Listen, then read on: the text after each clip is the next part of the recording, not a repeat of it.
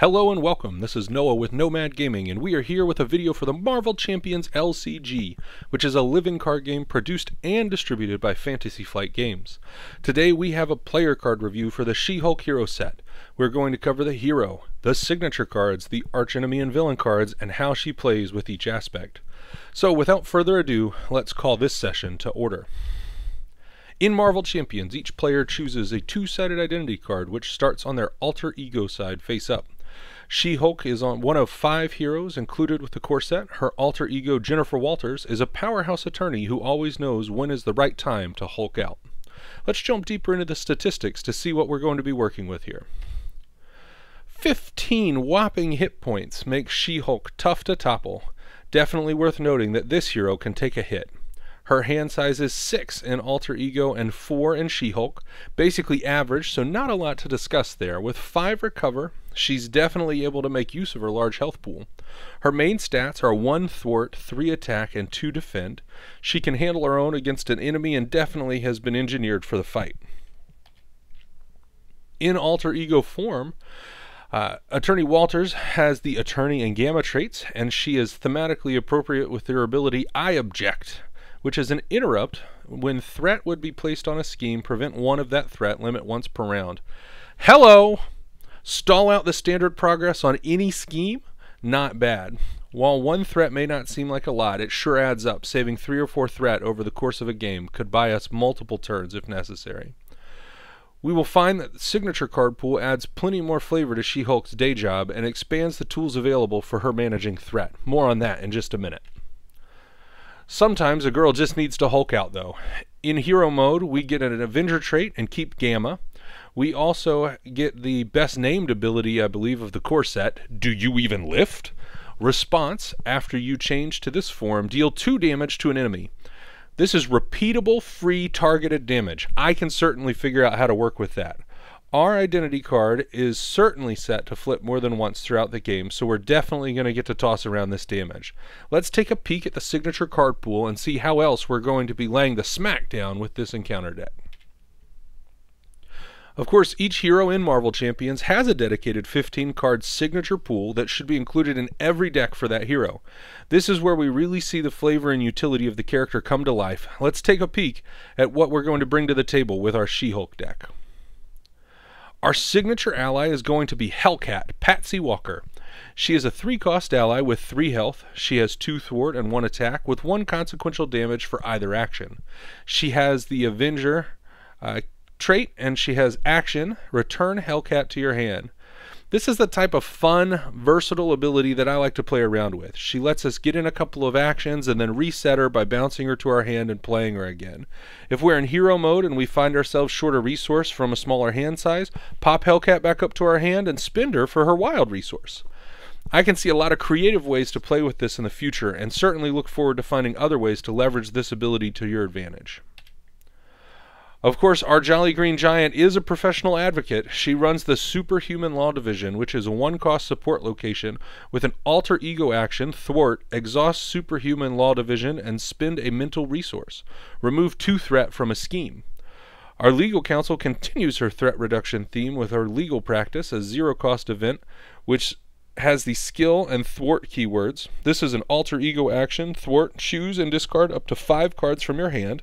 Then remove one threat from a scheme for each card discarded this way. So for six costs, legal practice plus five of the cards in your hand, you can remove five threat. Let's be honest, this is a trap.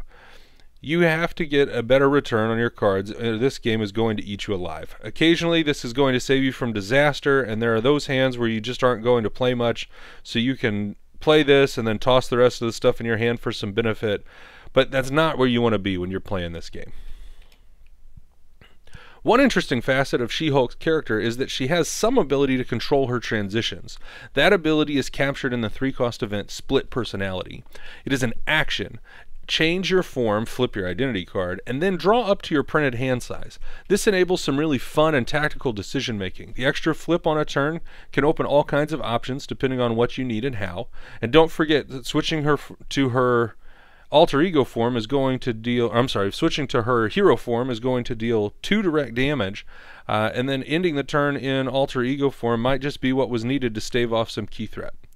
um, the extra cards that are going to aren't going to hurt us at all. I mean, I I think that when you get to draw back up to your printed hand size, hopefully this is the last card out of your hand, and then you're going to get to take a peek at uh, fresh new hand. Um, but definitely wanting to do that in alter ego form so that you get the bigger hand size. But either way, um, you're really going to want to have an empty hand when you play this guy. She Hulk is a powerhouse. Uh, and while she can't be contained in the game, these cards do a great job of capturing her flavor and some pretty strong abilities. Gamma Slam is a four cost event that is going to deal up to 15 damage depending on how much damage we've already taken to our hero. With 15 health, we're going to need a health boost to make it happen for the full 15, but it seems rational to set a personal goal at dropping the big 15 on a villain every now and again.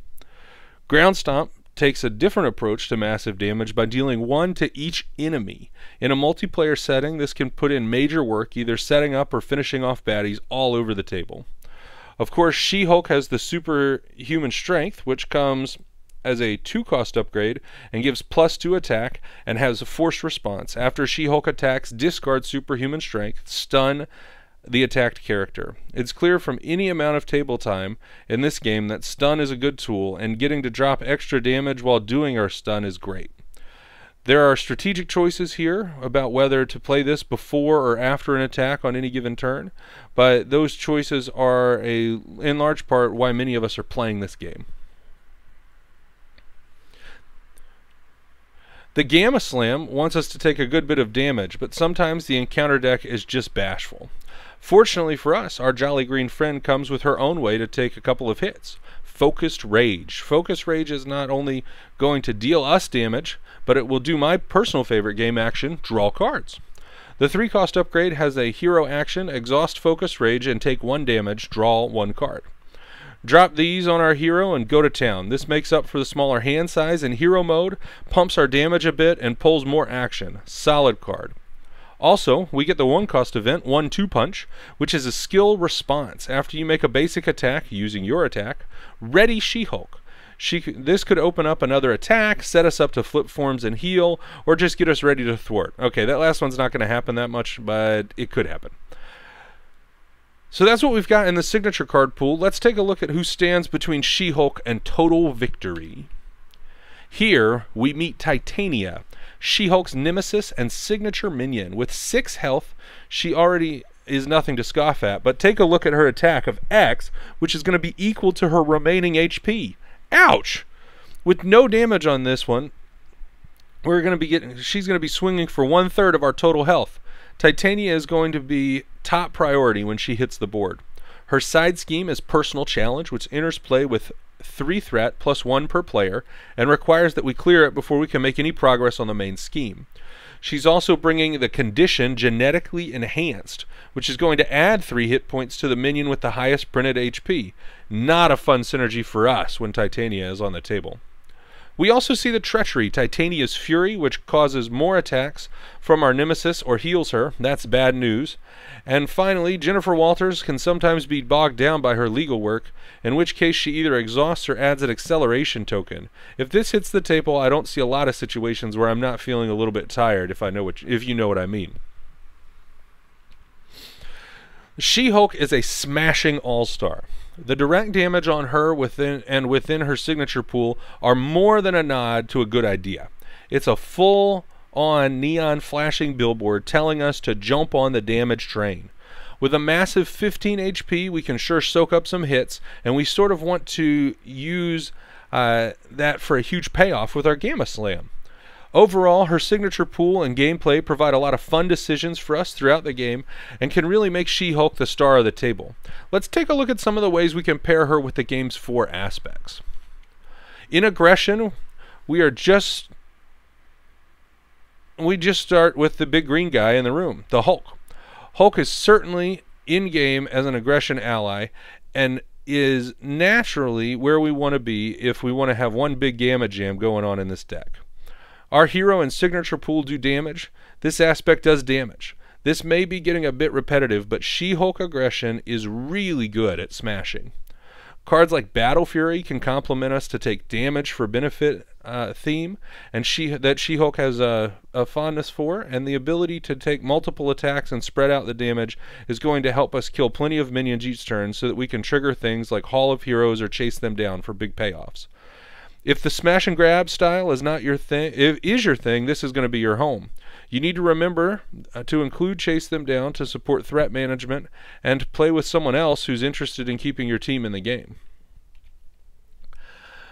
I will try to hide it, but Leadership She Hulk does not excite me. If you disagree, leave us a comment and tell me why. Maybe you can change my mind. Leadership does the Swiss Army knife does have the Swiss Army knife trait of being able to do it all. But in hero mode, we have a small hand size, so we're going to be looking uh, for really low cost allies and events to play. We do get single turn hero stat boost from cards like Lead from the Front and Morale Boost, which make things better and pair well with our signature pool of Readying, uh, but this is just not getting me too excited. Our leading lady definitely looks good in green, though. Under the protection aspect, we of course find healing and damage mitigation that pair well with our mammoth hit points and decent defense. As far as specific synergies go, I look at things like Counterpunch to take advantage of both the high hit points and the damage hero synergy and our high attack value. Uh, another great synergy is Get Behind Me, which is going to cancel when revealed effects and then draw the villain in for an attack, uh, which our She Hulk is definitely ready to handle. The final aspect is justice, and since She Hulk likes to spend time in both forms, uh, you're going to pick up a little bit more incidental threat. This aspect will give us a great way to manage that. I think many of us enjoy the card Great Responsibility, and She Hulk makes great use of the extra damage. How fun is it to take a hit with Great Responsibility and then drop a Gamma Slam? Then cards like Concussive Blow can help us deal damage and confuse the villain before we need to flip back and tend to our law practice. Finally, we have a small hand size in hero mode, and it's important for us to have those low cost, high value cards that we can play.